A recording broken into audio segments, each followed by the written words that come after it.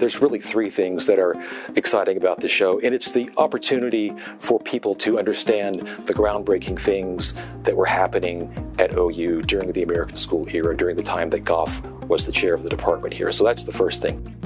For many people visiting the show, it will be their introduction to a lot of other players that were here at the time. Some of the unfortunately lesser known people who were also doing some amazing things, not just other faculty, but the students, the students that went on to have interesting careers after their education at OU. So that's the second thing. And the third thing was just to understand that the American school is not really a style or a flavor of design necessarily. It's a way of thinking thinking about design, how you approach a project, and how the students were taught.